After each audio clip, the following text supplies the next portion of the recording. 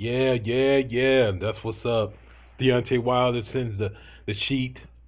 He puts out the tweet, says he offers any anything you like, AJ. He just TI'd you. You can have whatever you like. You want to fight in UK? Done. You want to fight in US?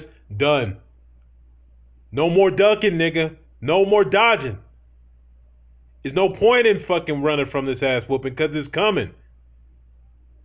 That right hand could come from a long way, all the way from Alabama to the UK. You know what I'm saying? So what you gonna do now? Enough of the shit. I already see the AJ Protective Scurry. They didn't have to go back on their their, their fucking um their um bullet points and start back at the big beginning, bringing up Dillian Whyte. Shut up. Call Eddie Hearns and tell him to give you new talking point sheets. All these punk ass YouTube stations taking a bag. Boxing beats and rhyme, bitch.